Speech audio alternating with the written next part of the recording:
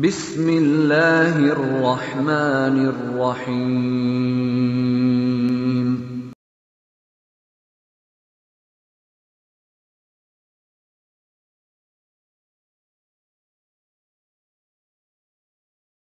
بسم الله الرحمن الرحيم. إن الحمد لله نحمده ونستعينه ونستغفره.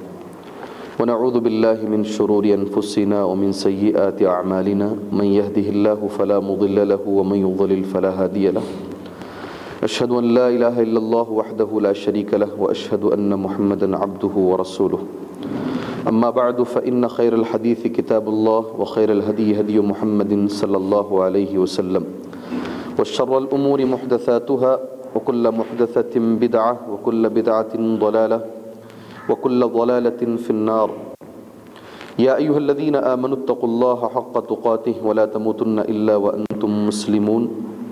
يا أيها الناس اتقوا ربكم الذي خلقكم من نفس واحدة وخلق منها زوجها وبث منهما رجالا كثيرا ونساء واتقوا الله الذي تساءلون به والأرحام إن الله كان عليكم رقيبا. يا أيها الذين آمنوا اتقوا الله وقولوا قولا سديدا يصلح لكم أعمالكم ويغفر لكم ذنوبكم، ومن يطع الله ورسوله فقد فاز فوزا عظيما. رب اشرح لي صدري ويسر لي أمري، واحلل عقدة من لساني يفقه قولي. محترم معزز، دینی ساتھیوں، آج جس موضوع کو ہم سننے اور سنانے کے لیے بیٹھے ہیں یہاں پر، وہ موضوع ہے ازدواجی زندگی کے آداب۔ ازدواجی زندگی کے مسائل۔ سب سے پہلے ہم اس نام کو سمجھتے ہیں اور اس کے معنی کو سمجھتے ہیں، پھر اس کی اہمیت قرآن و حدیث میں کیا ہے، اس کو سمجھتے ہیں۔ یہ جو نام ہے ازدواجی زندگی، یہ قرآن کا ہی نام ہے، عربی کا ہی نام ہے۔ اللہ کے رسول صلی اللہ علیہ وسلم جو خطبہ دیا کرتے تھے، مسنون خطبہ، جو میں نے ابھی آپ کے سامنے پڑھا، خطبۃ الحاجہ، اس کی جو دوسری آیت ہے سور نساء کی پہلی آیت، اس میں اس زندگی کے بارے میں کچھ کہا گیا ہے۔ یا الناس، اے لوگوں، ڈرو اپنے رب سے اتقو ربکم الذی خلقکم، جس نے تم کو پیدا کیا، من نفس واحدہ، ایک نفس سے ایک جان سے۔ اس کے بعد کا جو ٹکڑا ہے، وہ خلق منہا زوجہا۔ پھر اس جان سے اس کے زوج کو پیدا کیا۔ وہ لفظ ہی ہے اس دیواجی زندگی۔ پھر اس سے اس کے زوج کو پیدا کیا۔ زوج عربی زبان کا لفظ ہے۔ میاں اور بیوی دونوں کو بولتے ہیں عربی زبان۔ یہ لفظ عورت کے لیے بھی استعمال ہوتا ہے اور مرد کے لیے بھی استعمال ہوتا ہے دونوں کے لیے۔ مگر بعض لوگ تھوڑی سی تفریق کر کے بعض علماء نے زوج مرد کے لیے اور زوجہ عورت کے لیے استعمال ہوتا ہے۔ پہلی میاں بیوی کی جو جوڑی ہے اس دنیا کے اندر، سبحان اللہ، قرآن و حدیث کے مطابق سورہ نساء کی پہلی آیت میں اس جوڑی کا ذکر کیا گیا ہے۔ ڈرو اپنے اس رب سے جس نے تم کو ایک جان سے پیدا کیا، ایک جان سے مراد ہم سبھی لوگ جانتے ہیں حضرت آدم علیہ السلاۃ السلام پھر ان سے جوڑے کو پیدا کیا، آدم سے ہی ان کی بیوی کو پیدا کیا، یہ پہلا رشتہ ہے۔ یہ پہلا جوڑا ہے۔ یہاں سے اس زندگی کا آغاز ہوا ہے، سبحان اللہ۔ وہ خلق منہا زوجہ وبث منہما رجالا کثیرا پھر ان دونوں سے یہ میاں بیوی سے۔ بہت سارے مردوں کو اللہ نے پھیلا دیا۔ بس بث منہما رجالا کثیرا۔ ونساء، اور بہت ساری عورتوں کو اللہ نے پیدا کر دیا۔ وہ خلق منہا زوجہ و وخلق منها زوجها وبث منهما رجالا كثيرا ونساء واتقوا الله اللہ سے ڈرو۔ الذي تساءلون به جس کا نام لے کر تم ایک دوسرے سے سوال کرتے ہو۔ والارحام، اور رشتہ داری کے بارے میں ڈرو۔ ان اللہ کان علیکم رقیبا، بے شک اللہ تبارک و تعالی تم پر نگہبان ہے۔ تمہاری ہر چیز کو اللہ تبارک و تعالی دیکھ رہا ہے۔ یہ آیت کریمہ اس زندگی کا آغاز کیسے ہوا؟ اس کو بتانے کے لیے اس دیواجی زندگی، پہلی جو اس دیواجی زندگی ہے اس سے بتانے کے لیے یہ آیت کریمہ بطور دلیل میں نے آپ کے سامنے پیش کیا ہے۔ حضرت آدم علیہ السلاۃ السلام اور حضرت حوا علیہ السلاۃ السلام کی جو زندگی ہے، پہلی زندگی ہے۔ اگر ہم اور اور اچھے انداز میں اس کو سمجھنے کی کوشش کریں، اس زندگی کس کو بولتے ہیں؟ تو ہم انگریزی زبان میں ایک لفظ استعمال کرتے ہیں میرڈ لائف اردو زبان میں ہم کہتے ہیں شادی شدہ زندگی. شادی شدہ زندگی. یہ زندگی کو ہی ذرا اچھے الفاظ میں ازدواجی زندگی سے تعبیر کیا جاتا ہے۔ سب سے پہلے ہم آج الحمدللہ ان شاء اللہ تعالی اس کی اہمیت کیا ہے اسلام کے اندر؟ شادی شدہ زندگی کی کیا اہمیت ہے؟ ایک آدمی جب شادی کرتا ہے، اس کو کون کون سی چیزیں ملتی ہیں؟ پہلی چیز اس کو معلوم کرتے ہیں، کیونکہ آج کا جو مسئلہ ہے، آپ اس کو ایک عام درس کی طرح نہ لیں۔ آج کا جو مسئلہ ہمارے سامنے درپیش ہے، وہ آپ کو معلوم ہونا چاہیے، سو شادیاں اگر ہوتی ہیں، اس میں سے صرف تیس پر آٹھ شادیاں ہی صحیح گزر رہی ہیں۔ Thirty eight point one eight. یہی لوگوں نے اندازہ بتایا ہے۔ تیس پر آٹھ لوگ ہی ذرا صحیح سے زندگی گزار رہے ہیں۔ باقی جو لوگوں کی زندگیاں ہیں، وہ برابر ڈاما ڈول ہیں۔ لوگ بیٹھتے ہیں، فیصلے کرتے ہیں، پھر ملاتے ہیں، پھر ملاتے ہیں۔ زندگیوں کے اندر جس مقصد کے لیے یہ زندگی بنی ہے، وہ مقصد میں کامیاب نہیں ہے۔ وہ مقصد صحیح طور پر نہیں ہے۔ آدمی بہت زیادہ پریشان ہے آج۔ اور مجھے اور آپ کو ہم دونوں کو افسوس کے ساتھ یہ بات کہنا چاہیے، بنگلور شہر اس وقت پورے ہندوستان کے اندر طلاق اور خلا میں نمبر ون ہے۔ ٹائمز آف انڈیا کی یہ رپورٹ ہے۔ شہر بنگلور پورے انڈیا کے اندر، پورے ہندوستان کے اندر ہمارا جو شہر ہے، وہ ازدواجی زندگی کے ٹوٹنے کے لیے نمبر ون شہر ہے۔ اللہ رحم فرمائے۔ اللہ تعالیٰ رحم فرمائے۔ پری کریم صلی اللہ علیہ وسلم نے فرمایا تھا، وہ عورت جو بغیر ریزن کے اپنے شوہر سے خلا لیتی ہے، بغیر ریزن کے، کوئی ریزن نہیں ہے۔ نبی کریم صلی اللہ علیہ وسلم نے فرمایا، اس عورت کو اللہ تبارک و تعالی جنت کی خوشبو بھی نہیں دے گا۔ سبحان اللہ۔ اس کو جنت کی خوشبو بھی نہیں ملے گی۔ آج خاص کر پڑھی لکھی لڑکیاں، ایم این سی کمپنی کی لڑکیاں، چھوٹی چھوٹی باتوں کے لیے اپنے شوہروں سے دور ہو رہی ہیں، سپریٹ ہو رہی ہیں، ایک عام بات ہو گئی ہے۔ اللہ رحم فرمائے۔ ہزاروں میں نہیں، لاکھوں میں کیسز پڑے ہوئے ہیں۔ اس کے لیے یہ چیز کا معلوم کرنا ہمارے لیے بہت ضروری ہے۔ ہم میں سے کوئی ایسا نہیں ہے جس سے اس اس اس کا تعلق نہیں ہے۔ ہم میں سے ہر کوئی ہے۔ ہر کوئی ہے۔ نہ مسلک کا اختلاف اس کے اندر، کسی چیز کا اختلاف بھی نہیں ہے۔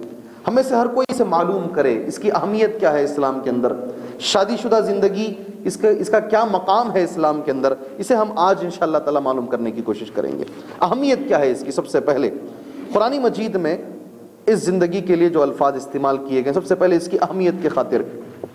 سور نور کی ایک آیت ہے، اللہ تعالیٰ کا فرمان ہے وہ انکح الایام منکم والصالحین من عبادکم و امائکم ان یکونوا فقراء یغنیہم اللہ من فضلہ واللہ واسع علیم. یہ سور نور کی آیت ہے. ترجمہ آیت کا یہ ہے، تم نکاح کرو، کراؤ، نکاح کراؤ، کس کا؟ ہر وہ مرد عورت دونوں کو ملا کر۔ جو ابھی تک شادی نہیں ہوئی ہے، جو غیر شادی شدہ ہیں، ان کو فوراً شادی کرواؤ۔ سبحان اللہ۔ ان کا نکاح کرواؤ۔ وَانْكِحُ الْأَيَامَ مِنْكُمْ وَالصَّالِحِينَ مِنْ عِبَادِكُمْ وَإِمَائِكُمْ۔ صرف عام لوگوں کا نہیں، اگر غلام بھی ہے، تمہارے پاس غلام بھی ہے، مرد ہو کہ عورت ہو، ان کا بھی نکاح کرواؤ۔ سبحان اللہ، قرآن کی جو آیت ہے، ان یکون فقراء، عمومی طور پہ آدمی جب نکاح کرتا ہے تو ڈر یہ رہتا ہے، پال پائیں گے، نہیں پال پائیں گے، سنبھال سکتے ہیں، نہیں سنبھال سکتے ہیں۔ ہمارے پاس ایک، ہماری زبان میں ایک مشورہ ایک مقولہ ہے کہ پیروں پہ کھڑا ہونا ہے۔ یہ سب باپ سے کہتے ہیں، نکاح کر دو، بولتے ہیں، وہ خود اپنے آپ کو نہیں دیکھ سکتا۔ وہ کیا اپنی بیوی کو پالے گا؟ اس طریقے کے الفاظ ہمارے پاس آتے ہیں۔ ان کے لیے اللہ تبارک و تعالیٰ نے ایک جواب دیا ہے۔ اللہ نے جواب دیا ہے۔ این یکون فقرا اگر وہ فقیر ہیں سبحان اللہ اگر وہ فقیر ہیں، یغنیہم اللہ من فضلی، اللہ ان کو اپنے فضل سے مالدار کر دے گا۔ تم ڈرو نہیں، انشاءاللہ۔ تم ڈرو نہیں، زیادہ مت سوچو۔ زیادہ مت سوچو، یہ کتنا پالے گا، یہ کتنا کماتا ہے، یہ خرچ کر پائے گا کیا؟ نہیں، ایک حد ہے اس کی۔ وہاں تک ہی ہمیں سوچنا ہے۔ باقی توکل اللہ کی ذات پہ کرنا ہے، سبحان اللہ۔ ہمارا ایک لمٹ ہے۔ یقور فقرا اگر فقیر بھی ہے سامنے والا، یغنیہم اللہ من فضلی۔ اللہ تبارک و تعالیٰ اپنے فضل سے اس کو مالدار کرے گا انشاءاللہ۔ واللہ واسع علیم۔ سبحان اللہ۔ جی تمہارا دماغ چھوٹا ہے، تمہاری سوچ چھوٹی ہے، تمہارا علم چھوٹا ہے۔ اللہ کشادگی والا ہے، سبحان اللہ۔ اور وہ جاننے والا ہے، علیم ہے وہ۔ وہ جانتا ہے یہ پال سکتا ہے، نہیں پال سکتا۔ یہ شادی کے بعد اس کی زندگی کدھر جائے گی، اوپر جائے گی، نیچے جائے گی، یہ سب کو دیکھے گا، نہیں دیکھے گا، یہ صرف اللہ جانتا ہے، یہ باپ بھی نہیں جانتا، سبحان اللہ۔ اللہ واسع علیم۔ یہ اللہ کا لفظ کتنا بڑا لفظ ہے، سبحان اللہ۔ یہ آیت کریمہ ہے جو ہمیں اس زندگی کی اہمیت کی طرف دلالت کرتی ہے کہ بھئی شادی شدہ حضرت عمر رضی اللہ عنہ کہا کرتے تھے، مجھے تعجب ہوتا ہے اس فقیر پر جو اس آیت کو پڑھتا نہیں اور اپنی فقیری دور نہیں کرتا۔ مجھے تعجب ہے اس فقیر پر، چونکہ قرآن میں اللہ نے کہا کہ فقیری دور کرنے کا ذریعہ نکاح ہے۔ فقیری دور کرنے کا، اور آپ یقین مانیے، آپ کے خاندان میں ہی یہ مثالیں نظر آ جائیں گی۔ شادی سے پہلے آدمی کو رہنے کے لیے گھر نہیں، سونے کے لیے بستر نہیں کہیں کہیں، کبھی ان کے گھر میں، کبھی ان کے گھر میں، کوئی دیکھنے ہو۔ پھر شادی کے بعد ایک ایسی سیٹل لائف اللہ اس کو دیتا ہے، سبحان اللہ، پھر وہ زندگی کہاں سے کہاں چلی جاتی ہے، ہم دیکھیں ہم دیکھیں، الحمدللہ، کیونکہ قرآن کبھی غلط نہیں ہو سکتا۔ اللہ کا کلام کبھی غلط نہیں ہو سکتا۔ ان یکون فقراء، اگر فقیر بھی ہے، اللہ سبحانہ و تعالیٰ اسے مالدار مالدار مالدار بنائے گا۔ دوسری، شادی کے تعلق سے علماء نے بالخصوص جو اردو زبان کے ہمارے اہل علم حضرات ہیں، ہمارے مکتب فکر جو قرآن و حدیث کے علماء ہیں، انہوں نے شادی کے لیے جو لفظ استعمال کیا ہے میں نے مناسب سمجھا کہ اس کو لکھ کر آپ کے سامنے پیش کروں۔ انسان کی کو فطرتی، معاشرتی، اخلاقی، دینی اور روحانی ہر لحاظ سے اس اس زندگی کی ضرورت ہے انسان کو۔ نکاح کی زندگی کی ضرورت ہے۔ کتنے الفاظ؟ اس لیے کہیں وہ لفظ خراب نہ ہو جائے۔ میں نے اس کو لکھ لیا۔ اردو ہی ہے۔ میں نے اس کو لکھ لیا ہے۔ فطرتی طور پر اس زندگی کی ضرورت ہے ہمیں۔ اس کے بغیر آدمی صحیح سے زندگی نہیں گزار سکتا۔ یہ زندگی ازدواجی زندگی، فطری طور پر ضروری ہے یہ۔ معاشرتی طور پر ضروری ہے، سوسائٹی کے حساب سے ضروری ہے زندگی۔ اس کے بغیر آپ کی، ہماری نسلیں چلنا مشکل ہے۔ اللہ تبارک و تعالیٰ یہ ایک ذریعہ ہے نسل کو آگے بڑھانے کا، الحمدللہ۔ اخلاقی طور پر سبحان اللہ نظر کو نیچے رکھنے کے لیے، اپنے آپ کو پاک دامن رکھنے کے لیے کتنی بڑی بات ہے۔ اس زندگی کی ضرورت ہے، نکاح کی زندگی کی۔ دینی طور پر آگے میں حدیث تمہارے سامنے کہوں گا، دینی اعتبار سے اس زندگی کی سخت ضرورت ہے، کیسی ہے؟ میں آگے ایک حدیث پڑھ کر اس کی شرح کہوں گا آپ کے سامنے۔ روحانی اعتبار سے اس زندگی کی پانچ، پانچوں لحاظ سے، شرعی اعتبار سے، دینی اعتبار سے، اخلاقی اعتبار سے، فطری اعتبار سے، معاشرتی اعتبار سے، بدنی اعتبار سے، دینی، روحانی، ہر لحاظ سے یہ زندگی ہمارے لیے ضروری ہے۔ بالکل ضروری ہے۔ اس زندگی کی اہمیت اور ذرا آگے بڑھے۔ اللہ سبحانہ و تعالیٰ نے قرآن مجید میں کہا، یہ جو زندگی ہے، شادی شدہ زندگی، اس کا مقصد کیا ہے؟ کیوں آدمی شادی کرتا ہے؟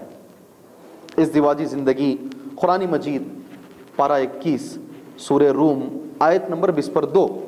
اللہ سبحانہ و تعالیٰ نے کہا ہے، راحت، اطمینان اور سکون۔ پہلا مقصد ہے۔ اور آج اللہ سبحانہ و تعالیٰ نے جو ہے انسان کو دولت دی ہے، بنگلے دیے ہیں، گاڑیاں دیے ہیں، مگر اس دنیا کی سب سے بڑی نعمت سکون چھین لیا ہے۔ ہاں اس وقت سب سے بڑا مسئلہ یہی ہے۔ آپ کو معلوم ہونا چاہیے نہیں؟ جی ہاں نائنٹین سکسٹی فائیو میں تقریباً ایک لاکھ پچیس ہزار لوگ صرف امریکہ میں خودکشی کیے تھے۔ سکسٹی فائیو میں، چالیس سال پرانی بات بول رہا ہوں آپ کو۔ پتہ نہیں، پچاس سال پرانی، معاف کیجیے گا۔ آج اس کی تعداد بہت آگے ہے۔ سب سے زیادہ خودکشی پڑھے لکھے لوگ کرتے ہیں۔ جی خودکشی ہے۔ خودکشی باقاعدہ کرتے ہیں۔ میاں بیوی میں تعلقات بن نہیں رہے ہیں۔ سب سے آسان مرحلہ ہے فین پہ لٹک جاؤ۔ سب سے آسان ہے زہر کھا لو۔ خودکشی ہے۔ سب ہے سب ہے۔ اگر نہیں ہے تو اطمینان نہیں ہے زندگی کے اندر۔ جبکہ قرآن مجید نے جو لفظ کہا ہے، شادی ہوتی ہی ہے اطمینان کے لیے۔ سبحان اللہ قرآن کی آیت سن لیجیے گا۔ ومن آیات ہی اللہ تبارک و تعالیٰ کی نشانیوں میں سے ایک نشانی ہے۔ سبحان اللہ ومن آیات ہی ان خلق لکم من انفسکم ازواجا لتسکنوا الیہا وجعل بینکم مودتا ورحمہ ان فی ذالک لآیات لقوم یتفکرون۔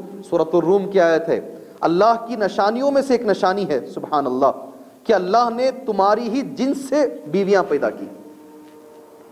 جی تمہاری ہی جنس سے پیدا کی۔ تاکہ تم ان سے آرام پاؤ، اللہ اکبر، سکون پاؤ۔ جی آپ ذرا اپنے ہی دوستوں سے پوچھ کے دیکھیں، قرآن کی یہ آیت تمہارے ساتھ ہو رہی ہے کیا بھائی؟ آپ نے یہ قرآن کی جو آیت ہے، شادی ہوتی ہی ہے سکون کے لیے۔ شادی ہوتی ہے فرسٹریشن دور ہونے کے لیے۔ شادی ہوتی ہے دماغ کی الجھنوں کو کم کرنے کے لیے۔ کیا یہ ہے کیا تمہارے ساتھ؟ مجھے تو آدھے سے زیادہ لوگوں نے یہی کہا ہے، گھر جاتے ہوئے ڈر لگتا ہے۔ جی میں اللہ کے گھر میں بیٹھا ہوں۔ اللہ کے گھر میں بیٹھا ہوں میں۔ میں مذاق کے لیے بھی نہیں بول رہا ہوں یہ۔ آدھے سے زیادہ لوگوں کا یہ ماننا ہے کہ گھر جاتے ہوئے مجھے ڈر لگتا ہے۔ اہل علم حضرات نے، جیسے میں نے تھوڑی دیر پہلے کہا، صرف تیس پر آٹھ پرسنٹ لوگ ہی ہیں جن کی زندگیاں ذرا سے چل رہی ہیں۔ باقی میجورٹی ایسی ہے۔ ساٹھ پرسنٹ سے زیادہ زندگیاں ایسی ہیں جو ٹوٹنے کی جگہ پہ کھڑی ہوئی ہیں۔ بس جمع جمع کے رکھ رہے ہیں لوگ۔ جمع جمع کے رکھ رہے ہیں، جمع جمع کے رکھ رہے ہیں۔ کسی وجہ سے چل جا رہی ہے زندگی۔ قرآن کہتا ہے، لِتَسْكُنُوا إِلَيْهَا آرام پاؤ۔ پھر اللہ اکبر قرآن کا دوسرا لفظ، وَجَعَلَ بَيْنَكُمْ مَوَدَّةً وَرَحْمَةً۔ تھوڑے لوگ ادھر بھی آ جائیں، ذرا اس طرف بھی آ جائیں۔ اللہ تبارک و تعالیٰ نے تمہارے بیچ میں محبت اور ہمدردی قائم کر دی۔ اللہ اکبر۔ ہمدردی اور محبت میاں بیوی کے بیچ میں اللہ نے قائم کر دی۔ یہ زندگی کا مقصد ہے۔ شادی شدہ زندگی کا مقصد ہے۔ یقیناً ہمدردی اور محبت اللہ رکھتا ہے۔ جی کبھی ہم دیکھتے نہیں اس لڑکی کو جس سے ہمارا نکاح ہوتا۔ اکثر عموماً عموماً نہیں دیکھتے۔ رشتہ طے ہوتا ہے، ہمارے بزرگ طے کرتے ہیں، الحمدللہ۔ پھر اس کے بعد اس عورت کے تعلق سے اللہ تبارک و تعالیٰ ایک محبت اور ایک ہمدردی رکھ دیتا ہے، سبحان اللہ۔ اور اس کے دل میں الحمدللہ، ہمارے تعلق سے، شوہر کے تعلق سے، بیوی کے دل میں یہ دو چیزیں، مودت اور رحمت، اللہ رکھتا ہے۔ یہ دونوں اللہ کا، اللہ کے الفاظ ہیں۔ مودت اور رحمت، یقین مانیے یہ۔ ان نفی ذلك لآیات لقومی یتفکرون یقیناً غور و فکر کرنے والوں کے لیے اس زندگی میں نشانیاں ہیں۔ سبحان اللہ یہ شادی شدہ زندگی کی اہمیت کو سمجھانے کے لیے قرآن مجید کی دوسری آیت ہے جو میں نے آپ لوگوں کے سامنے پڑھا ہے۔ بس آپ اللہ سے دعا کیجیے۔ اللہ تعالیٰ نے اس آیت کریمہ میں جو بیان کیا ہے کہ شادیاں کیوں ہوتی ہیں، راحت اور سکون جو پہلا لفظ ہے، قرآن کا ہی کتنا بہترین سا لفظ ہے۔ لِتَسْكُنُوا إِلَيْهَا۔ اللہ ہماری زندگی میں لائے۔ جی ہماری زندگی میں لائے اور ہمیشہ دعاؤں میں ایک دعا ہمیشہ ریپیٹ کرتے رہیں ہمیشہ مانگتے رہیں۔ ہم بڑی شکایتیں کرتے ہیں لوگوں سے۔ ہم سے ذرا زیادہ کرتے ہیں، آپ سے ذرا کم کرتے ہوں گے۔ شکایتیں کرتے ہیں بیویوں کے تعلق سے، بچوں کے تعلق سے، مگر ہم دعا بڑا کم ہی مانگتے ہیں۔ ربنا حبلنا وذریاتنا قرۃ اعین وجعلنا للمتقین اماما۔ یہ پورے آج کا جو موضوع ہے، یہ سارا موضوع اس ایک آیت میں بیان کر دیا گیا ہے۔ اس کا حل ہے یہ۔ ربنا حبلنا من ازواجنا وذریاتنا قرۃ اعین وجعلنا للمتقین اماما۔ مجھے آج یہ بات بتانے دیجیے، ہمارا مسئلہ ہم ہی حل کر سکتے ہیں، زیادہ سے زیادہ۔ باہر کے اکثر لوگ ان مسئلوں میں مزہ ہی لیتے ہیں، حل کرنے کی طرف کم ہی توجہ دیتے ہیں۔ اکثر لوگ سبھی نہیں ہیں، کچھ مخلصین بھی ہیں۔ ہمیں خود دعا کرنی چاہیے۔ ہمیں خود اللہ سے دعا کرنی چاہیے۔ اور یقین مانیے، اس موقع پر میں پرسوں کوئی کلپ مجھے ملا تھا، نثار ننڈیاڈ والا، نندیاڈ والا جی جو ہیں، وہ بھی ایک دائی ہیں۔ مجھے سن کر مجھے بھی لگا کہ ہاں یہ کمزوریاں ہمارے اندر پائی جاتی ہیں۔ بولے کہ اجمان میں وہ درس دینے گئے تھے، اجمان۔ سعودی عرب کا ایک جگہ ہے، وہاں درس دینے کے لیے گئے تھے۔ مسجد اور ماشاءاللہ ہر ہاسپٹل میں مسجد ہے۔ ہاسپٹل کی مسجد میں وہ نماز پڑھ کر، ظہر یا اثر کی نماز تھی۔ پڑھ کر وہ سنتیں پڑھ رہے تھے وہ۔ دیکھے کہ ایک آدمی مسجد کے کونے میں بیٹھا ہے اور خوب رو رو کی دعا مانگ رہا ہے۔ اکیلا آدمی۔ پوری مسجد خالی ہو گئی، وہ اکیلا بیٹھا ہے۔ کپڑے بھی ذرا صحیح نہیں ہیں۔ کپڑے ایسا لگتا ہے کہ ذرا درمیانی قسم کا آدمی ہے مڈل کلاس آدمی ہے۔ مجبور ہے مجبور ہے، اس لیے بہت رو رہا ہے۔ غور کیجیے آپ اللہ کے لیے۔ تو وہ سوچے کہ نہیں، اس کی مدد کرنی ہے۔ میرے پاس جو بھی اللہ مجھے دیا ہے، ہو سکتا ہے ہاسپٹل میں کچھ مجبوری ہوگی، کچھ پیسے وسوں کا مسئلہ ہوگا۔ کچھ بھی میرے پاس دس ریال ہیں، دس سو جو بھی اللہ نے مجھے دیا ہے، اس کو دے کے جانا ہے۔ نیت ہو گئی ان کی۔ یہ بیٹھ گئے وہاں پہ۔ انہوں نے خود لکھا کہا ہے، میں بیٹھ گیا تھوڑی دیر۔ بہت لمبی دعا کیا۔ دعا کرنے کے بعد میں اس سے جا کے ملاقات کیا۔ السلام علیکم بھائی۔ وعلیکم السلام۔ بہت رو رہے تھے آپ۔ کوئی مجبوری ہے کیا؟ ہاں۔ میرے بھائی کا بیٹا، سنیے گا۔ میرے بھائی کا بیٹا ایڈمٹ ہے۔ اپنے بیٹوں کے لیے بھی دعا نہیں کرتے ہم آج کل۔ اپنے لیے بھی نہیں کرتے۔ میرے بھائی کا بیٹا، میرا بھتیجا ایڈمٹ ہے۔ اور اس کو میری دعا کی سخت ضرورت ہے۔ تو اس کی حالت دیکھ کر نثار صاحب اسے پوچھ رہے ہیں، کچھ پیسوں کی ضرورت ہے؟ تو وہ ہلکی سی مسکراہٹ، ذرا لائٹ سے وہ مسکرایا۔ اس نے کہا، میرے ساتھ باہر چلو۔ ہاسپٹل کے باہر جو سپر مارکیٹ ہے، وہ میرا ہے، الحمدللہ۔ جی اللہ تعالیٰ نے مجھے دولت بہت دیا ہے، مگر مسئلے دولت سے حل نہیں ہوتے۔ مسئلے دولت سے حل نہیں ہوتے۔ مسئلے حل ہوتے ہیں دعا سے۔ مسئلے حل ہوتے ہیں دعا سے۔ سبحان اللہ کتنی پیاری بات اور کتنی بڑی بات ان کو سمجھا دیا۔ تو نثار بھائی کہتے ہیں، میں نے سوچا کہ ایسی دعا مانگ کر میں کتنے مہینے ہو گئے۔ آپ بھی سوچئے نا۔ آپ صحیح ڈھنگ سے دعا کر کے کتنے مہینے ہوئے سوچئے آپ۔ دعا مانگنا ہے، اٹھا لیے، ہاتھ اٹھا لیے، چلے گئے۔ دو منٹ، وہ الگ ہے۔ جیسے دعا مانگنی چاہیے، جیسے نبی نے مانگا ہے صلی اللہ علیہ وسلم، یہ اوپر کی چادر بار بار نیچے گر جاتی تھی۔ اللہ کے نبی صلی اللہ علیہ وسلم نے ایک بار دعا مانگا ہے۔ ابو بکر صدیق سامنے آ کر پھر چادر اٹھا کر کندھے پہ ڈالتے تھے۔ پھر اللہ کے نبی سے کہتے تھے، اللہ کے نبی، اللہ نے سن لیا ہے آپ کی۔ آپ کیوں اتنا رو رہے ہیں؟ ہم نے کبھی دعا ڈھنگ سے مانگا ہے کیا؟ سوچیے آپ۔ مسئلے حل نہیں ہوتے ہیں۔ بچوں کے مسئلے ہو بیوی کے مسئلے ہو بچیوں کے، ہماری بیٹیوں کے مسئلے ہو، بہنوں کے مسئلے ہو، حل نہیں ہوتے ہیں۔ ہم نے دعا مانگا کیا حل ہونے کے لیے؟ ہم نے دعا نہیں مانگا۔ ہم ہمیشہ ان سے بولتے ہیں، یہ بیچ میں رشتہ لگانے کے لیے آیا تھا، اس سے بات کریں گے۔ یہ فلاں آدمی ہے، ان کے خاندان کا، اس سے بات کریں گے۔ ہم اسی چکر میں رہتے ہیں۔ ہم اللہ سے دعا نہیں کر، دعا کیجیے گا ضرور۔ جب تک دعا نہیں کریں گے، مسائل حل نہیں ہوں گے ہمارے۔ دماغ میں رکھ لیجیے گا۔ اس اس زندگی کی اہمیت کے لیے دوسری بات جو اللہ کے رسول صلی اللہ علیہ وسلم نے بیان فرمائی ہے، نکاح جتنے بھی انبیاء آئے ہیں اس دنیا کے اندر، سارے پیغمبروں کی یہ زندگی دلیل ہے اور سنت ہے۔ افسوس کی بات ہے، اقبال کیلانی صاحب اور یہ عمران لاہوری صاحب، یہ بہت سارے اچھے اچھے علماء اکرام کہتے ہیں، مجلس نکاح میں ایک چار باتیں اگر اس وقت کہہ دی جائیں، اس لیے کہ ہم سمجھتے ہیں نکاح کی جو مجلس ہے، صرف خوشی کی مجلس، یقیناً خوشی ہے۔ مگر ساتھ میں ایک ذمہ داری بھی ہے وہ۔ اس مجلس میں اگر ذمہ داری بتا دی جائے، عورت کیا ہے، مرد کیا ہے، اس کا مقام، اس کا مقام تھوڑا بتا دیا جائے، اس کے اثرات کہتے ہیں، پوری زندگی میں پڑے رہتے ہیں۔ سبحان اللہ، پڑھتے ہیں۔ ہم اسے بتانا بھی ضروری نہیں سمجھتے، اور کچھ لوگ تو ہیں، اللہ رحم فرمائے، نکاح میں جب آدمی بیٹھتا ہے، ہمارے شیخ حفیظ الرحمان صاحب نے کہا تھا ایک مدنی عالم کے نکاح میں گئے تھے، وہ حسن۔ ان کا بھی انتقال ہو گیا۔ جن کے نکے میں گئے تھے، اللہ ان کی مغفرت فرمائے۔ اس وقت بنگلور میں جتنے مدنی علماء ہیں، اکثر ان کے شاگرد ہیں۔ اکثر ان کے شاگرد ہیں۔ بڑے بڑے علماء سے لے کر چھوٹے علماء تک سب ان کے شاگرد ہیں۔ ان کے نکے میں گئے تھے یہ۔ تقریباً ہو گئے ہوں گے ایک چالیس سال پرانی بات۔ نکاح میں وہ ان کو کلمہ پڑھا رہے ہیں خادی صاحب کن کو مدنی عالم کو۔ جی یہ ایک رواج ہے۔ نکاح میں کیا بولنا ہے وہ نہیں ہے۔ نکاح میں بولی اشد اللہ الہ الا اللہ. ایک تو فارغ ہیں، ماشاءاللہ مدینے کے بھی فارغ ہیں، ان کو کلمہ پڑھانے کی کوشش کر رہی ہے کیونکہ وہ چلا آ رہا ہے وہ۔ کلمہ پڑھانے کا رواج چلا آ رہا ہے۔ یہ اس زندگی سے، ماشاءاللہ مسلمان ہے تو مسجد میں نکاح ہو رہا ہے نا بھائی؟ مسلمان ہے تو شریعت اسلامیہ کے مطابق نکاح ہو رہا ہے۔ اس کو کیا کلمہ پڑھائیں گے آپ؟ سبحان اللہ اللہ رحم فرمائے، یہ ضروری نہیں ہے۔ کیا پڑھا گیا ہے نکاح میں؟ عربی میں جو پڑھا گیا ہے، اس کی تھوڑی سی شرح ہو جائے۔ انشاءاللہ اس کا بڑا اثر ہوتا ہے۔ مجھے آج بھی یاد ہے ایک ہمارے تھرڈ بلاک کے جو متولی صاحب ہیں، نکاح ہی میں بیٹھے تھے وہ۔ چار باتیں کچھ ہم نے بتائی وہاں پہ۔ وہ اپنے دونوں ہاتھ میرے ہاتھوں کو پکڑے، بیٹا، یہ مسجد کو تم سنبھالو۔ ایسے ہی، اس مسجد کو تم ایک نکاح کی مجلس سے ان کی زندگی میں اتنا اثر ہوگا سبحان اللہ کبھی کبھی ہو جاتا ہے۔ کچھ چار باتیں مجلس نکاح میں ہو جانی چاہیے، سن لیجیے۔ نکاح جو ہے، پہلی بات راحت اور سکون ہے نکاح کے اندر۔ انشاءاللہ تعالی اس کی اہمیت دوسری بات جو ہے نکاح کے تعلق سے نبیوں کی سنت ہے۔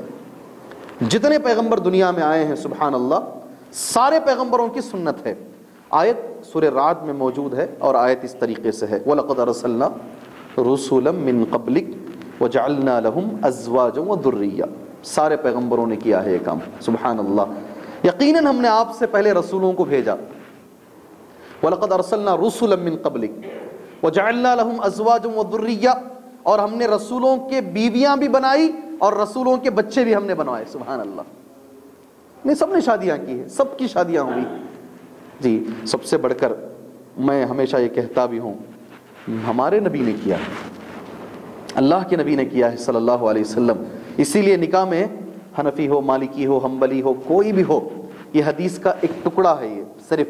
ایک آدھا سا ٹکڑا میں کہوں گا، بلکہ آدھا بھی نہیں، چھوٹا سا ایک ٹکڑا ہے، النکاح من النکاح من، دیکھیے، سب کو یاد ہے، سبحان اللہ۔ عمل تو کم ہے، مگر یاد ہے ہم سب کو۔ النکاح من سنتی، نبی کی سنت ہے۔ سارے پیغمبروں کی سنت ہے، اس دیواجی زندگی میں داخل ہونا۔ اور خاص طور پر اللہ کے نبی صلی اللہ علیہ وسلم کی سنت، جو آدمی نکاح کر رہا ہے یا جس کا بیٹا نکاح ہو رہا ہے اس کے ذہن میں ہونا چاہیے میں کیا کام کر رہا ہوں؟ میں نبیوں کی سنت، ایک لاکھ سے زیادہ پیغمبروں کی سنت میں ادا کر رہا ہوں۔ اللہ اکبر، ایک ساتھ ادا کر رہا ہوں میں۔ ایک لاکھ سے زیادہ پیغمبر جو آئے ہیں، انہوں نے جو کام کیا، میں وہ کام کرنے جا رہا ہوں۔ یہ صرف میاں بیوی کے ملنے کا نام نہیں ہے یہ۔ یہ بہت بڑی چیز ہے جس کی طرف ہماری توجہ نہیں ہے۔ اللہ کے نبی صلی اللہ علیہ وسلم نکاح من سنتی، دو، دوسری بات، اہمیت معلوم ہوئی۔ نبیوں کی سنت اور ہمارے رسول صلی اللہ علیہ وسلم کی سنت مجھے اچھے سے یاد ہے۔ میسور میں ایک ایک واقعے کو لے کر میں گیا تھا۔ ہمارے ایک سافٹ ویئر کمپنی کے ایک بہت بڑے انجینئر صاحب کو لے کر۔ ایسے ہی فیصلہ تھا۔ بچی بھی پڑی ہوئی، بچہ بھی پڑا ہوا۔ انہوں نے ماشاءاللہ ایک روپیہ بھی لینے سے انکار کیا۔ سب سے پہلے یہ لوگ کچھ دینا چاہے تحفہ ان کو، ایک روپیہ بھی نہیں لیے۔ مگر بڑے اچھے انداز میں انہوں نے اسے سمجھایا۔ آپ لوگوں نے زندگی کا آغاز ہی غلط کیا ہے۔ یہ آپ سوچتے کہ نکاح ہے کیا آخر؟ آپ نے نبیوں کی اور ہمارے نبی کی سنت کا مذاق اڑایا ہے، سبحان اللہ۔ آدمی سوچتا بھی نہیں، میں کیا کر رہا ہوں؟ خاص کر نکاح اس مجلس میں، اس دیواجی زندگی کی اس مجلس میں، یہ میں بتانا ضروری سمجھتا ہوں۔ جن تک یہ بات پہنچے، میں سب کو یہ بتانا چاہتا ہوں، نکاح یہ نبی کی سنت ہے اور کسی مسلمان کو اس کا مذاق اڑانے کا حق نہیں ہے۔ مذاق کیسے اڑاتا ہے آدمی؟ کبھی زبان سے بول کے نہیں اڑاتا۔ نکاح کو جیسے نبی نے کیا ہے ویسا کرنے کے بجائے اپنی اپنی خواہشات کے مطابق اپنے اپنے منشے منشے کے مطابق کر کے اس کا مذاق اڑاتا ہے۔ جان بوجھ کے۔ نہیں، کسی کو حق نہیں ہے۔ دوسری بات ہے، سبحان اللہ۔ تیسری بات، نکاح کے تعلق سے۔ صحیح بخاری کی وہ حدیث ہمیں ذہن میں رکھنا چاہیے۔ اس زندگی کے تعلق سے۔ حدیث میں صرف شروع کرتا ہوں، آپ سبھی لوگ جان لیں گے ہاں حدیث ہمیں معلوم ہے۔ آخری کا ٹکڑا ہی میں بتا کر بات آگے لے کر جائے کوئی انسان اگر یہ کہتا ہے دنیا کے اندر، میں نکاح نہیں کروں گا، میں نکاح نہیں کروں گا، میں پوری زندگی میں اللہ تبارک و تعالیٰ کے راستے میں لگا دوں گا۔ اگر نکاح کروں گا تو پریشانی آئیں گی، نکاح کروں گا تو پھر فلاں فلاں مصیبتیں آئیں گی، تو میں نکاح ہی نہیں کروں گا۔ اگر ایسا کوئی سوچتا ہے، سبحان اللہ، یہ سوچ رکھنے والا انسان، اس کے لیے اللہ کے رسول صلی اللہ علیہ وسلم نے کیا فرمایا ہے؟ اللہ کے نبی صلی اللہ علیہ وسلم کی کیا حدیث ہے؟ ہم سبھی لوگ جانتے ہیں، تین اشخاص تھے جو جو آئے تھے امہات المؤمنین میں سے کسی کے پاس۔ سبحان اللہ، ایک نے کہا تھا کہ میں نکاح نہیں کروں گا، پوری زندگی جو ہے اللہ کے دین کی طرف لگا دوں گا، رات میں تہجد پڑھوں گا، دن میں روزہ رکھوں گا۔ حدیث میں مختصر بتا رہا ہوں۔ آخری جو ٹکڑا ہے اس کا، اس حدیث میں ہے۔ اسی حدیث میں نبی نے یہ کہا تھا، اس حدیث کے اندر، فمن رغیبہ عن سنتی فلی سمنی دیکھیے، ایک بات آج میں آپ کو بتا دیتا ہوں۔ نکے ہم پڑھتے ہیں اور بیٹھتے بھی ہیں۔ ان نکاح من سنتی، یہ ایک الگ حدیث میں ہے۔ اس کے بعد فمن رغیب عن سنتی فلی سمنی یہ ایک الگ حدیث میں ہے۔ ان دونوں کے دو ٹکڑوں کو ہم نکاح میں پڑھتے ہیں۔ سبحان اللہ۔ اسی لیے خطیب یہ پڑھتا ہے، پڑھنے والا نکاح۔ وفی حدیث آخر، ایک دوسری حدیث میں۔ وفی موضع آخر، ایک دوسری جگہ پر یہ حدیث موجود ہے، النکاح من سنتی وفی موضع آخر، فمن رغب عن سنتی فلیس منی۔ جو بھی شخص یہ سوچ رکھتا ہے، سبحان اللہ، کہ میں نکاح نہیں کروں گا تو آدمی بڑا ہو جائے۔ نہیں، کوئی نکاح نہیں کرنے سے بڑا نہیں ہوتا۔ الٹا نبی کریم صلی اللہ علیہ وسلم نے اس سے اپنا تعلق توڑ لیا ہے، جو نبی کی سنت سے منہ پھیر لیتا ہے۔ نکاح کرنا سنت ہے اور نہیں کرنے والا کوئی بڑا آدمی نہیں ہے، بلکہ اس کے اندر اگر کچھ باتیں ہیں جو اہل علم نے لکھا ہے، اگر اس میں پالنے کی طاقت بھی ہے، اس میں شہوت بھی ہے، دو باتیں۔ تیسری بات، اسے ڈر بھی ہے، اگر میں نکاح نہیں کروں گا تو میں زنا کر بیٹھوں گا، حالات اتنے خراب ہیں، تو پھر اس پر فوراً نکاح واجب ہے۔ فرض ہے اس پر نکاح کرنا۔ دماغ میں رکھیے گا۔ نکاح ہر ایک کے لیے برابر نہیں ہے۔ نکاح میں تین الگ الگ اشخاص ہیں۔ جسے اہل علم نے لکھا ہے۔ ایک آدمی ہے، اللہ نے اس کو فطری طور پر شہوت نہیں رکھی ہے۔ شہوت نہیں ہے اس کے اندر۔ ایسے بے شمار آدمی ہیں، ان پہ نکاح کرنا حرام ہے۔ نکاح کرنا حرام ہے، اس لیے کہ وہ جو چیز ہے اصل، وہ دے نہیں سکتے ہیں۔ لوگ شرم کے مارے بتاتے نہیں۔ لڑکے شرم کے مارے نہیں بتاتے۔ نکاح ہونے کے بعد مسئلے آ جاتے ہیں مسجد تک، دروازے تک۔ اللہ رحم فرمائے۔ پھر اس کے بعد ان کی خاندان کی بھی عزت جاتی ہے اور ان کی بھی عزت جاتی ہے۔ وقت سے پہلے اگر کوئی ایسا ہے، اسے کھل کے بول دینا چاہیے، نہیں، میں اس میں نہیں آتا ہوں، اس لیے کہ اس کا نکاح کرنا حرام ہے، جس کے اندر شہوت نہیں پائی جاتی۔ جس کے اندر؟ جی دماغ میں رکھیے، کوئی عیب نہیں۔ اللہ نے پیدا کیا، اس کی آزمائش ویسی ہی ہے۔ اس کی زندگی ویسی ہی ہے۔ ہزار میں ایک آدمی، لاکھوں میں ایک آدمی نکل آتا ہے ایسا۔ دوسرا، اللہ پاک نے شہوت کو دی ہے، مگر اتنا خستہ حال ہے اتنا خستہ حال ہے کہ وہ پال نہیں پائے گا، اسے بہت زیادہ ڈر ہے۔ میں نے پہلے جو لفظ کہا، وہ نہیں، بہت۔ تو اس کے لیے حدیث میں لفظ کہا گیا ہے، وہ روزہ رکھے۔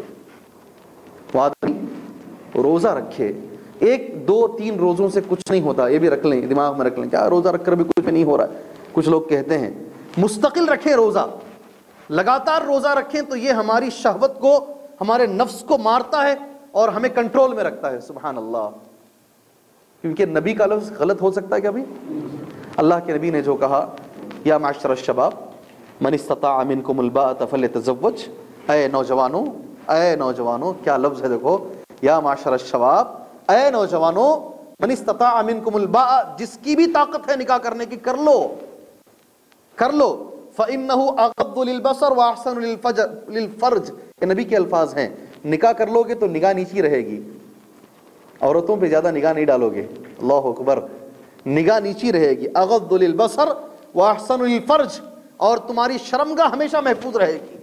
سبحان اللہ ہاں اگر نہیں ہے طاقت، تو اللہ کے نبی صلی اللہ علیہ وسلم نے فرمایا ہے، اگر نہیں ہے، پالنے کی استطاعت بالکل نہیں ہے تمہارے پاس، تو پھر فعلیکم بالصوم فعلیکم بالصوم تو روزہ رکھ لو۔ روزہ رکھ لو۔ اللہ کے نبی صلی اللہ علیہ وسلم کا یہ طریقہ ہمارے لیے کار آمد ہے انشاءاللہ تعالی، کار آمد ہے۔ نکاح کے تعلق سے اس کے بعد جی ہاں میں وہ بات مکمل کر دیتا ہوں۔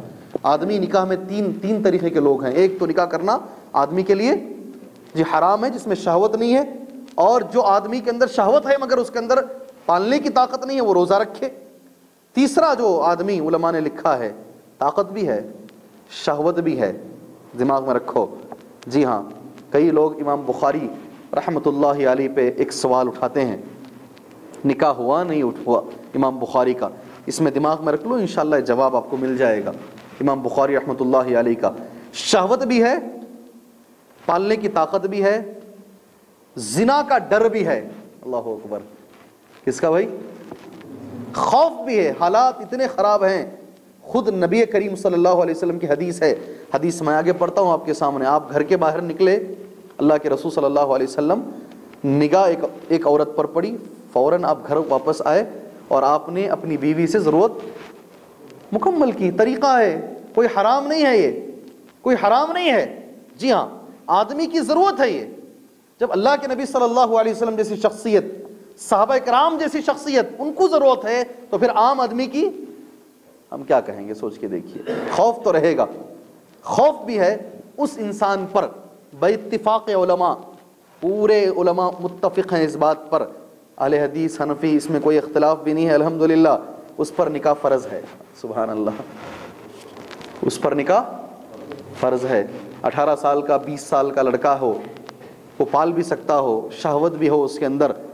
مگر وہ یہ سوچ رہا ہو کہ نہیں، میرے اوپر بہت ساری ذمہ داریاں، اللہ تعالیٰ ذمہ داریاں نبھانے والا۔ بچے رہتے ہیں، باپ مر جاتا ہے۔ اللہ تعالیٰ ان بچوں کو کہاں پہنچا دیتا ہے؟ سبحان اللہ۔ جی اسے ڈر بھی ہے کہ بھائی حالات صحیح نہیں ہیں، باہر کا ماحول خراب ہے۔ وہ نکاح نہیں کرتا، اس لیے کہ بھائی پتہ نہیں کیا کیا چیزیں ہمارے اندر ہیں۔ معاشرے میں پتہ نہیں میری بات کسے اچھی لگے گی، کسے بری لگے گی۔ بہن ہے، اس سے اور بہن کی عمر میں سات آٹھ سال کا فرق ہے۔ بہن بہت چھوٹی ہے گھر گھر والوں کی کے خیال میں یہ رہتا اس کی شادی کر کے بہن کی بعد میں اس کی کریں گے۔ اس وقت تک اس کی عمر اتنی لمبی ہو جاتی ہے، وہ پتہ نہیں کتنی بار آنکھوں کا زنا کرتا ہے، کتنی بار صحیح معنی میں جا کر زنا کر دیتا ہے، گھر والوں کو کبھی پتہ رہتا ہے اور کبھی پتہ بھی نہیں رہتا۔ اس کی ذمہ داری اگر پتہ ہے تو بہت بڑا گناہ ہے گھر والوں پر۔ نہیں پتہ ہے تب بھی وہ ذمہ دار ہے، میں کہوں گا۔ اس لیے کہ بچہ بالی ہو گیا، وہ پالنے کی طاقت بھی اس کے اندر ہے۔ اسے ڈر بھی ہے زنا کا، حالات ہی اتنے خراب ہیں، اس کی شادی نہیں ہو رہی ہے، اس نے فرض چھوڑا ہے۔ آخر ایک بات آدمی میں طاقت ہے، شہوت بھی ہے، مگر اس نے اپنے آپ کو ایسی چیزوں میں مصروف رکھا ہے کہ اسے خوف نہیں ہے زنا کا۔ ہو سکتے ہیں، لاکھ میں ایک آدمی ایسا ہو سکتا ہے، انشاءاللہ تعالی۔ پوری زندگی اس کی لگ گئی ہے اس میں، ایسے انسان پر سنت ہے نکاح کرنا۔ خوف نہ ہو تو اگر زنا کا، خوف نہ ہو۔ اس میں، اگر امام بخاری رحمۃ اللہ علیہ نے، پہلے تو نہیں معلوم ہے کہ کیا نہیں کیا، وہ زندگی ہم تک نہیں آئی ہے۔ ان کے بچے کا نام کیا ہے؟ اس کے بعد نہیں، امام مسلم کا ہے رحمۃ اللہ علیہ، امام ترمیدی کا ہے، انہی کے دور کے لوگ ہیں یہ۔ سب کا ہے، لیکن ان کا، ان کی وہ زندگی نہیں ہے ہمارے پاس۔ ان کی اولاد نہیں آئی۔ اس لیے ضن غالب یہ ہے کہ انہوں نے نہیں کیا۔ اللہ عالم بالثواب اگر نہیں بھی کیا ہے تو یہی ہوگا، ان کو خوف نہیں رہا ہوگا۔ ان کو خوف نہیں رہا ہوگا۔ انہوں نے پوری زندگی اللہ کے نبی صلی اللہ علیہ وسلم کی حدیثوں میں، سمندری سفروں میں، روٹی کو سمندر کے پانوں میں، پانی کے اندر، سمندر کے پانی میں۔ جی ہاں منہ میں نہیں ڈال سکتے آپ، کبھی کبھی بیچ میں چلے جائیں آپ، منہ میں اگر چار خطرے پانی چلے گئے، آنکھوں میں چلے گئے آنکھیں جلتی رہتی ہیں، اس پانی میں سالہ سال روٹیاں بھگا بھگا کر کھانے کی وجہ سے مرتے وقت حکیم نے کہا تھا، ان کو فلاں فلاں بیماری آئی ہے، بالخصوص پیشاب کے خطروں میں بہت تکلیف ہے۔ اس کی وجہ یہ ہے کہ سمندر کا پانی زیادہ استعمال کیے ہیں۔ پوری زندگی انہوں نے لگا دی اس میں، کبھی اس ملک کو جاتے، ایک ملک کا سفر کیا ایک حدیث کے لیے۔ مشہور ہے، ان کی پوری تاریخ انشاءاللہ کبھی آپ کے سامنے اہل علم حضرات بیان کریں گے۔ بہرحال، نکاح کے تعلق سے یہ دوسری بات تھی۔ تیسری بات، یہ جو زندگی ہے ازدواجی زندگی اس زندگی کے تعلق سے تیسری اور اہم چیز جو ہے اللہ کے نبی نے جو فرمایا، صلی اللہ علیہ وسلم، آدھا دین ہے یہ۔ اللہ اکبر۔ آدھا دین ہے۔ کیسے آدھا دین ہے؟ میں حدیث پڑھ کر آپ کے سامنے انشاءاللہ تعالی اس کی شرح علماء نے بیان کی ہے، میں وہ شرح بھی آپ کے سامنے پڑھ دیتا ہوں انشاءاللہ تعالی۔ نکاح کو آدھا دین کیوں قرار دیا گیا ہے؟ آپ انشاءاللہ شکریہ ادا کریں گے۔ یقیناً سب سے پہلے تو اللہ کا، پھر اس کے رسول کا، صلی اللہ علیہ وسلم، پھر اہل علم کا۔ جنہوں نے بھی اس شرح کو لکھا ہے، یقیناً یقیناً یقیناً یہ آدھا دین ہے۔ کیسے آدھا دین ہے؟ حدیث سن لیجیے گا، اور حدیث کس کتاب میں ہے وہ بھی سن لیجیے۔ راوی حدیث انس ابن مالک ہیں۔ اللہ کے رسول صلی اللہ علیہ وسلم نے فرمایا، اذا تزوج العبد فقد استکمل نصف الدین فلتق اللہ فی النصف الباقی جب بندہ نکاح کرتا ہے تو اس کا آدھا دین مکمل ہو جاتا ہے، اسے چاہیے کہ وہ باقی آدھے دین میں اللہ سے ڈرے۔ حدیث یہ روایت بحقی کی ہے، مستدرک حاکم کی ہے۔ شیخ البانی رحمۃ اللہ علیہ نے اس کی صنعت کو صحیح قرار دیا ہے۔ حدیث صحیح ہے۔ باقاعدہ اس حدیث میں پتہ چل گیا آدمی جب نکاح کرتا ہے، یہ جو زندگی ہے، اس دیواجی زندگی کی شروعات جب کرتا ہے آدھا دین اس نے مکمل کر دیا۔ یہ چھوٹا ملے، چلے گئے، توڑ دیے، واٹس اپ میں طلاق بھیج دیے، واٹس اپ میں خلا لے لیے۔ پتہ نہیں کیا کیا، آج کل نئے نئے طریقوں میں یہ رشتے ٹوٹ جاتے ہیں۔ اور دیکھیے کتنا اہم مسئلہ ہے، اس وقت سب سے سنگین مسئلہ جو سپریم کورٹ میں پڑا ہوا ہے، اس وقت کا مسئلہ تین طلاق کا۔ اس وقت کا کرنٹ ٹاپک اگر ہم کسی کو کہیں، غیر مسلم لوگ، غیر مسلم لوگ کہہ رہے ہیں کہ نہیں ہونا چاہیے، ایک مجلس میں کسی نے کہہ دیا یا زور سے بول دیا، اس کو ایکسپٹ نہیں کرنا چاہیے۔ اور ہزاروں نہیں، لاکھوں عورتیں مجبور ہیں۔ میں نے کتنی بار یہاں بلایا ہے۔ حضرت، غصے میں بول ڈالے حضرت، ایسا بولتا ہے؟ یہ اس دیواجی زندگی کا ایک حصہ ہے یہ طلاق۔ غصے میں بول ڈالے حضرت، چار بچے ہیں، بچی شادی لائق ہے۔ بچی شادی لائق ہے۔ اب وہاں گئے تو علماء فتوا دے رہے ہیں کہ میری بیوی کو اس عمر میں میں دوسرے سے نکاح کرواؤں۔ اللہ اکبر۔ پھر وہ چھوڑے تو پھر میں نکاح کروں۔ یہ تو مجھے سمجھ میں نہیں آ رہا ہے حضرت۔ جی نہیں سمجھ میں آ رہا ہے۔ مجھے اچھے یاد ہے، مولانا عبد المتین میمن جناگڑی رحمۃ اللہ علیہ۔ اللہ سے دعا کیجیے، پینتیس سال انہوں نے توحید کے لیے کام کیا ہے اس شہر بنگلور میں، تیس پر پانچ سال اللہ ان کے کام کو قبول فرمائے، اللہ ان کی قبر کو نور سے بھرے، اللہ ان کو اعلیٰ علیین کے اندر اللہ ان کے مقام کو جو ہے وہ بلند فرمائے۔ مولانا عبد المتین صاحب کے زمانے میں ایک دوسرے عالم بھی تھے بنگلور کے اندر، جنیدی صاحب رحمۃ اللہ علیہ۔ اللہ سبحانہ و تعالیٰ ان کے نیک اعمال کو قبول فرمائے، ان کے پیچھے آنے والوں کو اللہ ہدایت عطا فرمائے۔ ان کے بیٹے نے طلاق دے دی بیٹے اپنی بہو کو، جنیدی صاحب کے بیٹے نے۔ جی وہ تھے جمعہ مسجد کے امام صاحب، کمرشل اسٹریٹ، وہاں کے امام صاحب۔ جنیدی صاحب نے بیٹے سے کہا، تو کہیں بھی چلے جا بیٹے، یہ مسئلہ حل نہیں ہوگا چار مینار چلے جا، حل ہو جائے گا۔ جی چار مینار چلا جا۔ جی حقیقت ہے یہ۔ عبد المتین صاحب کو بول، میں بھیجا بول کے، میرے دوست ہیں وہ۔ جی ان کو بول، وہ یہ مسئلہ حل کر دیں گے۔ اس کے علاوہ بیٹا، یہ مسئلہ کہیں حل نہیں ہوگا۔ کہیں حل نہیں ہوگا۔ اور حل نہیں ہوتا۔ چانس ہی نہیں ہے حل ہونے کے لیے۔ جائیں گے تو بولے کہ دوسری شادی کرنا ہے، اتنا ہی بتائیں گے۔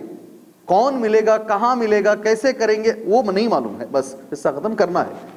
وہ ہوگا نہیں۔ کون مرد برداشت کرے گا؟ چہرہ دیکھنا ہم نہیں برداشت کرتے، کوئی ہماری بیوی کا چہرہ دیکھ لے۔ وہ اس سے شادی کرے، پھر اس کے بعد وہ طلاق دے، پھر وہ استغفر اللہ یہ کبھی ہو نہیں سکتا۔ ہمارا دھرم ایسا ہے نہیں۔ ہمارا اسلام ایسا ہے نہیں۔ اسلام کے اندر ماشاء اللہ یہ فطری مذہب ہے۔ اس کی ہر چیز آئین فطرت کے مطابق ہے۔ لوگوں نے اپنی طرف سے اسے بدنام کیا ہے۔ ورنہ تو اسلام ایسا ہے نہیں۔ یہ مسئلہ میں اگلے درسوں میں اس دیواجی زندگی کے تعلق سے طلاق کی صحیح صورت اور نکاح کی صحیح صورت، خلا کی صحیح صورت، بعد میں ہم انشاءاللہ اس پر ہم ڈسکس کرتے ہیں۔ یہ حدیث ہم مکمل کر لیتے ہیں۔ جب آدمی نے نکاح کیا، اس نے آدھا دن مکمل کر لیا۔ سبحان اللہ کیسے مکمل کرتا ہے؟ ذرا سن لیجیے۔ اہل علم حضرات نے اس کی شرح بیان کی ہے۔ بیوی اگر نیک مل گئی، سبحان اللہ، وہ اتنی مدد کرتی ہے شوہر کی کہ اس کے لیے دین پر چلنا آسان ہو جاتا ہے۔ وہاں سے اس کا آدھا دین آسان ہو گیا، سمجھ لیجیے۔ آدھا کام آسان ہو گیا اس کا۔ اہل علم نے یہی لکھا ہے۔ یہی لکھا ہے، اگر بیوی نیک مل گئی، وہ اگر اسے نماز کی طرف ترغیب دے، سبحان اللہ، اس میں ایسی پابندی آتی ہے، سبحان اللہ، کہ وہ آٹومیٹک نماز اس کے لیے آسان ہو جاتی ہے۔ کسی کو حدیث میں کہا گیا ہے، اللہ رحم فرمائے اس عورت پر جو رات میں اٹھے اور تحجد پڑھے، پھر اپنے شوہر کی آنکھوں پہ پانی کے خطرے مارے۔ اللہ اکبر۔ اس کو بھی اٹھائے۔ آسان ہو جاتا ہے۔ یقین مانیے یہ حدیث انشاءاللہ بہت صحیح ہے۔ صحیح عورت اگر آ گئی زندگی میں، دین آسان ہو گیا۔ میں تو ایک لفظ کہوں گا، جنت کا راستہ آسان ہو گیا۔ انشاءاللہ تعالی، میں تو یہی کہوں گا۔ عورت صحیح مل گئی، نیک مل گئی۔ تقوی والی مل گئی۔ جی ہاں اسی لیے نبی کریم صلی اللہ علیہ وسلم نے فرمایا، بھائی، چار چیزیں لوگ دیکھتے ہیں۔ حدیث ہم پڑھتے نہیں؟ چار چیزیں لوگ دیکھتے ہیں نکاح کے لیے۔ اربعن چار چیزوں کی بنیاد پہ نکاح ہوتا ہے۔ پہلی چیز جی تنکح المرأة لی اربعین لی لمالہا پہلا مال ہے۔ مال ہے جی مال ملے گا۔ باقاعدہ لوگ بولتے ہیں، بھائی، پوری زندگی کوشش کر لیا تو بھی ایک گھر نہیں بنا سکتا۔ دیکھ ماشاء اللہ پانچ پانچ گھر مل رہے ہیں ادھر۔ لما لہا جی حقیقت ہے یہ۔ بیٹے کو سمجھاتے ہیں، کیا رنگ دیکھ رہا بھائی؟ کیا رنگ روپ دیکھ رہا ہے؟ چل، کوشش کر۔ لما لہا ولی جما لہا جمال پہ تو دنیا قربان ہے۔ ساری دنیا قربان ہے اس جمال پر۔ اس کے جمال پہ، اس کی خوبصورتی، ولی جما ولی حسبیہ خاندان۔ جانتا کس کا خاندان ہے؟ جی خاندان کس کا جانتا ہے؟ ولی حسبہ سبحان اللہ ولی دینہا آخر میں نبی نے دین کا ذکر کیا ہے۔ لوگ بھی کم ہیں دین کو دیکھ کر کرنے والے۔ جی ولی دینہا مگر نبی نے فرمایا فضفر بذات الدین جس نے دین کو دیکھ کر شادی کیا، یہ عورت دیندار ہے، اس کے بعد اس کا اپنا دین آسان ہوگا اور اس کا جنت کا راستہ آسان ہوگا، یہی کامیاب انسان ہے انشاءاللہ تعالی۔ تینوں چیزیں ختم ہو سکتی ہیں۔ مال بھی ختم ہو سکتا ہے۔ جمال تو سو فیصد ختم ہوگا۔ کیسا بھی جمال ہے، دنیا میں باقی نہیں رہا ہے۔ ختم ہوگا اور خاندان اچھے برے ہو سکتے ہیں، مگر دین الحمدللہ اور نکھار آئے گا اس میں، اور نکھار آئے گا۔ فضفر بدات الدین۔ سمجھ میں یہ حدیث ہے؟ جی آدمی جب نکاح کرتا ہے، اس کا آدھا دین مکمل ہوگا سبحان اللہ اور آگے چلیے، نکاح کے تعلق سے نبی کریم صلی اللہ علیہ وسلم نے ایک لفظ کہا ہے۔ پاک دامنی کے لیے لیے نکاح کرنے والا آدمی جو بھی اپنے آپ کو بچانے کے لیے ہو سکتا ہے، آج کے درس کی ہے انشاءاللہ آخری حدیث ہوگی۔ چالیس منٹ کا جو وقت ہم لوگ لیے ہیں، اس کے حساب سے پاک دامنی کی نیت سے اگر کوئی لڑکا نکاح کرتا ہے، بڑی بات اللہ کے نبی نے فرمائی، اس زندگی کے تعلق سے میری زندگی کے اندر کسی عورت کو نہیں دیکھو میں انشاءاللہ تعالی۔ اپنے آپ کو میں پاک رکھوں انشاءاللہ تعالی۔ اس نیت سے اگر کوئی نکاح کرتا ہے، اس تعلق سے نبی نے جو فرمایا ثلاثت حق علی اللہ عونہم کتنی بڑی بات ہے۔ تین آدمی ایسے ہیں، اللہ نے ان کی مدد کرنا اپنے اوپر واجب کر لیا ہے۔ حق اللہ بشرط کہ نیت کیا رہے بھائی؟ پاک دامنی۔ نیت کیا رہے؟ پاک دامنی۔ میں اس لیے نکاح کر رہا ہوں تاکہ میں زنا سے بچوں۔ انشاءاللہ تعالی۔ میں اس لیے نکاح کر رہا ہوں تاکہ میں زنا سے بچوں۔ میں یہاں ایک لفظ بیچ میں ایڈ کر دیتا ہوں۔ قرآن مجید نے پاک دامنی کے تعلق سے جو لفظ کہا زنا پاک دامنی کے اگینسٹ ہے۔ اور زنا مت کیجیے، ایسا نہیں ہے قرآن میں۔ بلکہ کیا ہے؟ زنا کے ہاں اور زنا کے قریب لے جانے میں، کسی زمانے میں، کسی زمانے میں زنا کے قریب لے جانے میں بازار تھا۔ آدمی بازار کو جاتا تھا، وہاں بیٹھتا تو بہت سارے لوگ آتے جاتے۔ اس لیے نبی نے فرمایا، پوری دنیا میں، سبحان اللہ، سب سے اگر بری جگہ کوئی ہے وہ بازار ہے۔ آج میں کہوں گا یہ حضرت ہیں۔ جو یہ صاحب موبائل جو ہیں، یہ ہیں جو انسان کو اتنے ناپاک کرتے ہیں، یہ اتنا ناپاک کرتا ہے کہ آدمی شاید اپنے آپ کو پاک کرنے میں صدیاں لگ جائیں گی۔ یہ اور نیٹ جب مل جاتے ہیں، کوئی دیکھنے والا نہیں ہے، اکیلے تنہا بیٹھے ہیں۔ جو بھی چاہو آ جاتا ہے۔ جو چاہو مل جاتا ہے اس پر۔ اس کے قریب اگر آدمی جائے گا، اللہ رحم فرمائے تو آدمی زنا کر بیٹھے گا۔ آدمی زنا کر بیٹھے گا، وہ زنا ہو سکتا ہے آنکھوں کا ہو ہو سکتا ہے وہ دل کا زنا ہو ہو سکتا ہے وہ ہاتھ اور پیر کا زنا ہو، مگر زنا تو ہوگا۔ زنا تو ہوگا۔ اگر کوئی زنا سے بچنے کے لیے نکاح کرتا ہے، سبحان اللہ اللہ نے اس کی مدد اپنے اوپر واجب کر لیا ہے۔ حدیث سن لیجیے۔ اور کون سی کتاب میں حدیث ہے، وہ بھی سن لیجیے گا انشاءاللہ تعالی۔ بات یہاں تک ہم آج کے لیے روک دیتے ہیں۔ اب حضرت ابو حریرہ رضی اللہ عنہ راوی حدیث اللہ کے رسول صلی اللہ علیہ وسلم کا فرمان ہے ثلاثت حق علی اللہ عونہم تین لوگ ہیں دنیا میں، اللہ پر حق ہے کہ اللہ ان کی مدد کرے۔ المکاتب الذي یرید الادا، آپ کو یہ لفظ بھی کام آئے گا۔ ایک غلام ہے، غلامی سے آزاد ہونا چاہتا ہے، مگر اس کے پاس پیسہ نہیں ہے۔ وہ اپنے مالک سے بولتا ہے کہ مجھے تھوڑا سا موقع دیجیے آپ، تھوڑے پیسے ہیں، رکھ لیجیے۔ مجھے لکھ کر دے دیجیے اتنا ٹائم۔ اتنے ٹائم کے اندر باقی اماؤنٹ میں دے دوں گا۔ اس کو عربی میں کیا کہتے ہیں؟ مکاتب۔ اس کی مدد اللہ نے واجب کر لیا، اس لیے کہ غلامی اسلام میں نہیں ہے۔ اسلام نے ہی سب سے پہلے غلامی کے خلاف آواز اٹھائی ہے، یہ غلطی کرو تو اس کو آزاد کرو، فلاں گناہ ہو جائے تو ایک غلام آزاد کرو۔ جتنی آزادی اسلام نے دی ہے، اسلام میں غلامی نہیں ہے۔ غلامی کے خلاف کھڑے ہونے والا پہلا مذہب کون سا ہے؟ سبحان اللہ اسلام ہے اسلام ہے۔ جی دوسرا وہ ناکح اللہ یرید الافاف نکاح کرنے والا زنا سے بچنے کی نیت سے اگر نکاح کرتا ہے، اللہ نے اس کی مدد اپنے اوپر واجب کر لیا ہے۔ سبحان اللہ۔ اللہ نے واجب کر لیا ہے۔ تیسرا، والمجاہد فی سبیل اللہ اللہ کے راستے میں جو صحیح جہاد ہے، اس کی مدد اللہ تبارک و تعالیٰ نے، اس کی مدد کرنا اللہ نے اپنے اوپر واجب کر لیا ہے۔ یہ حدیث، سبحان اللہ، السلسلۃ الاحادیث الصحیحہ، پھر صحیح الجامع الصغیر، ابن ماجہ مستدرک حاکم اور بھی بہت ساری حدیث کی کتابوں کے اندر یہ حدیث موجود ہے اور حدیث سندن الحمدللہ صحیح ہے۔ یہ ہماری جو ازدواجی زندگی آج جو موضوع ہے، اس کی اہمیت کے تعلق سے یہ دو تین باتیں تھیں جو آج ہم نے کہا ہے۔ میں بات ختم کرنے سے پہلے پہلے آپ سبھی حضرات سے میں کچھ گزارشات کر کر اس بات کو ختم کرنا چاہتا ہوں۔ کو تعالیٰ جو ہم نے سنا ہے، یہ سکون یا عافیت یا اطمینان، ہم میں سے ہر ایک کی زندگی میں اللہ اسے پیدا فرمائے۔ اللہ ہمارے بچوں کے نکے اچھے پاک دامن نیک عورتوں سے کروائے۔ اللہ تبارک و تعالیٰ جو نکے کھلے کھلے میں تبدیل ہو رہے ہیں، اللہ ان عورتوں کو اللہ اچھی توفیق عطا فرمائے۔ اللہ جو طلاق اور خلے کے مسائل بہت زیادہ بڑھ رہے ہیں، اللہ اسے ختم کرے۔ اللہ تمام کی زندگیوں کے اندر عافیت اور سکون پیدا فرمائے۔ آمین۔ اور صلی اللہ علیہ نبی کریم السلام علیکم ورحمۃ اللہ وبرکاتہ۔